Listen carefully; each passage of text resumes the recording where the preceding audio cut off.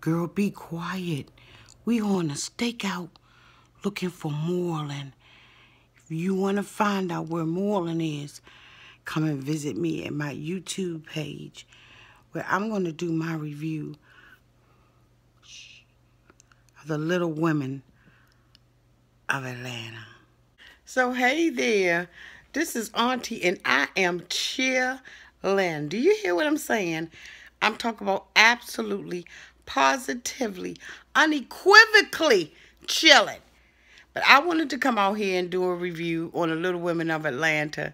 Thank you all for being patient with me while I um was resisting in my body. you know what I'm saying? Little cold, little cough, cough, little, you know, little something like that. But anyway, let me be serious. I am coming out here to do a review on a Little Women of Atlanta. And I just wanted to come out here and just be like in chill mode. You know what I'm saying? But anyway, um, I have been looking at the Little Women for the last couple of weeks. And it's been uneventful. The stuff that they have been wanting to show us about Miss Tanya, I don't care.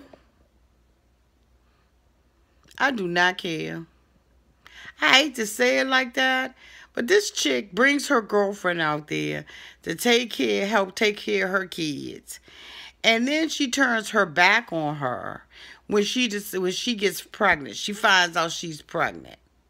She, you know, the, the boy Miko or Nico, whatever his name is, is sitting up there talking to her and treating her like some trash. And she gonna basically tell her, you know, if you don't like it, leave. Well, guess what? That's what Sam did. Sam, I, I take my bra off. I pop my bra for you. Wait a minute. I props my bra for you. Because you know what? It take a woman that's about her and that got some balls to her to decide that, you know what, chickadee, I am going to roll out. I could do you one better. Deuces. See you on a, see you on a low low. Bye. Tanya.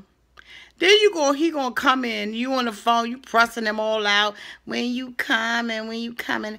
I, yeah, we trying to be man manipulative. Get the Negro there, and he leave two days later. Matter of fact, it seemed like it was two hours.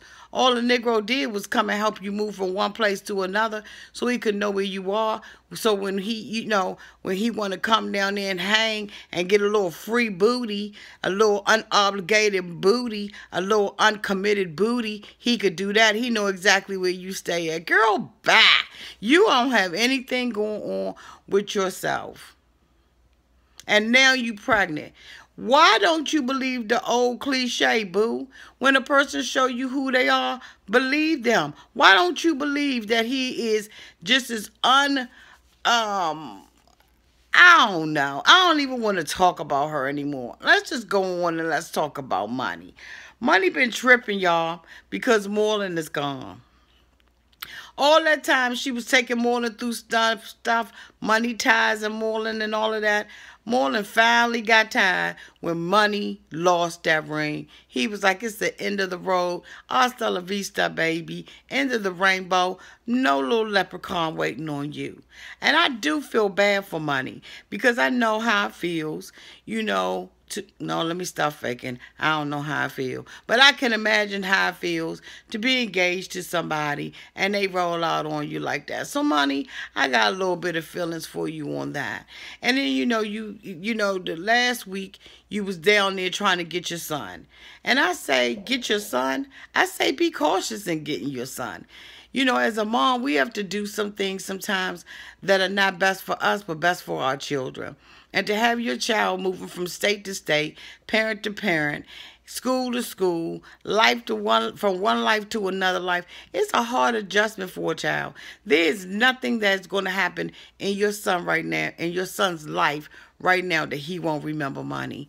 Be careful about the moves that you make as it relates to your child because at the end of the day, we all got to pay for what we allow our children to see, hear, and do. So just be very cautious about moving your son. And in addition to that, make sure everything is stable between you and Moreland. Don't just move your son because you just, you know, you empty right now. Be filled, Be fulfilled as a woman. Find out whether or not you and Marlon going to stay together or y'all not. And then it's not, you know, you ask your son how you feel about Marlon not being here. You know, and the little boy going to tell you he said that's a heartbreaking thing for a parent to have to ask their child a question like that. Y'all, I'm just straight chilling, okay? I'm straight chilling. But anyway, so let me finish up, you know. I just say, you know, Monie, don't be empty, boo, be full. Get settle everything with Marlon. Find out where y'all stand with one another. Get get all of that stuff together. And then you know what? After you have come to a conclusion and you have come to a resolve with Marlon, then try to get your son. But when you go and get him, act like a woman. Be a woman up. A woman about it. Woman up. When you go down there, you don't have to be kicking drinks and getting mad because he's not saying and doing what you want him to say and do. That's not womaning up. Womaning up said that I take responsibility and accountability for the part that I played in losing my son or having to feel like I needed to leave my son. And now I'm willing to do whatever I need to do to show you that I'm going to be a responsible woman and a responsible parent to my son and that I'm not going to be holding a grudge and keeping my son from you. And I'm going to work together. We've all had our issues. I'm a single parent myself, and I know how it is. So, Monie, take your time, do it right. Other than that, y'all ain't nothing else going on. Minnie and her mother ain't tripping. Miss Juicy is doing Miss Juicy. The Tiny Twins, one of them want to be engaged to the guy. But I say, you know what, be single. Anyway, y'all, thank y'all for watching. Talk to y'all later. Auntie is going to continue to chill out for the rest of the night. Bye-bye, y'all.